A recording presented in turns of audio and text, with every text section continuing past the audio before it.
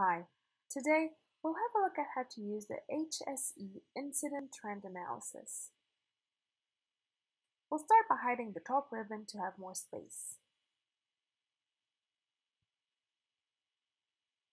Great. First, let's go into the settings page. This is where you can enter parameters to set up the tool. We can first select our language and specify wording for data lists. Gender, gravity, and type of injury. Moving on to the Translation tab. This is where we have three standard languages, English, French, and Portuguese, and have the ability to set up a fourth language. Let's go into the Roles tab. This is where we list all the employees' roles. Let's add a new one.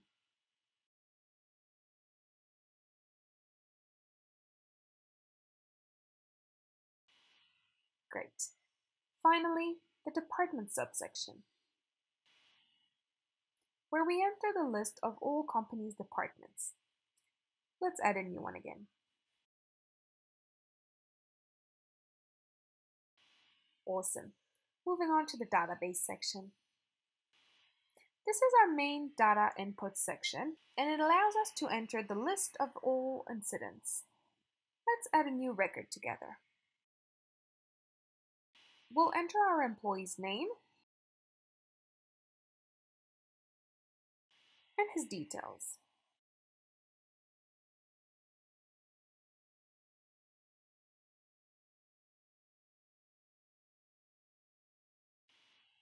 We'll indicate his hire date and see that the company time auto-calculates. We'll indicate his gender, his role,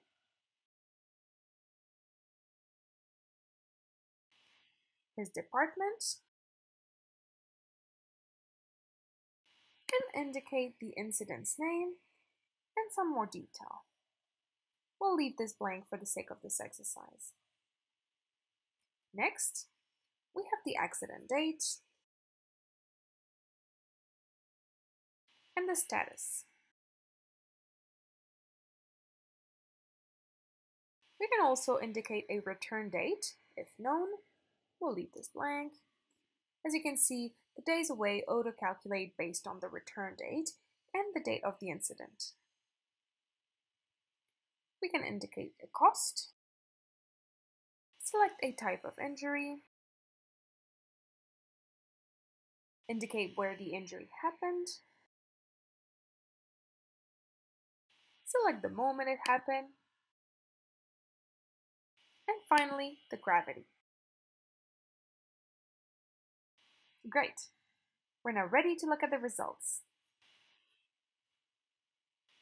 We'll start with the accident report. Let's first hit the refresh button to ensure the latest data is being shown.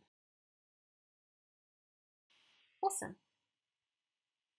The slicers, or filters, allow you to visualize a specific group of accident based on different factors. You can select a year, or a specific month. Can also choose to visualize a specific gravity or gender or status.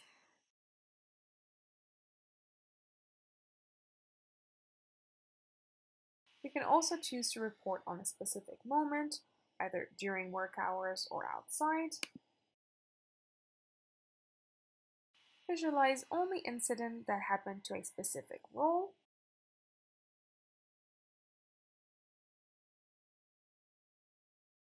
or department. And finally, you can choose to visualize only specific type of injuries.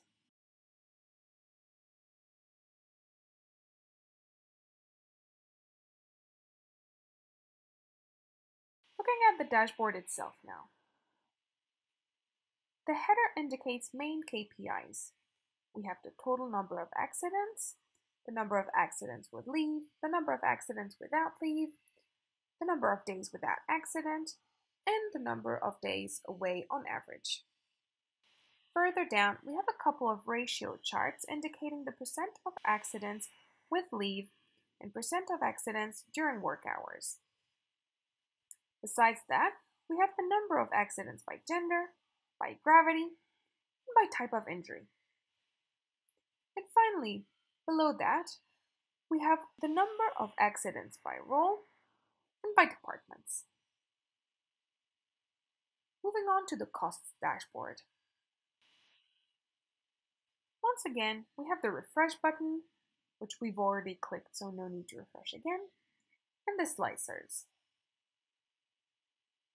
Similarly to the accident dashboard, we have a breakdown of costs by different factors. We have the percentage of accidents cost with leave, and the ones during office hours. We have the costs by gender, by gravity, by type of injuries, by role, by department, etc. Let's go to the body injury dashboard. This dashboard can also be filtered by a series of slicers.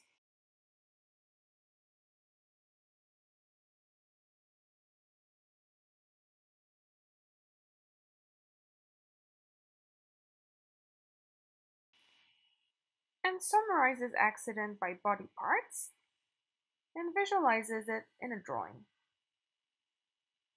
Finally, the monthly report. This is a table that indicates the total number of incidents, their total associated costs and average cost for incidents with leave and ones without. All of this per month. Further down, a bar chart indicates the number of incidents with and without leave per month. And finally, a donut chart indicating the percentage of incidents with and without leave. The same charts are then displaying the data by total cost and average cost. And that's it. You know everything you need to know about our HSE incident trend analysis, and you're ready to start using it now. Enjoy!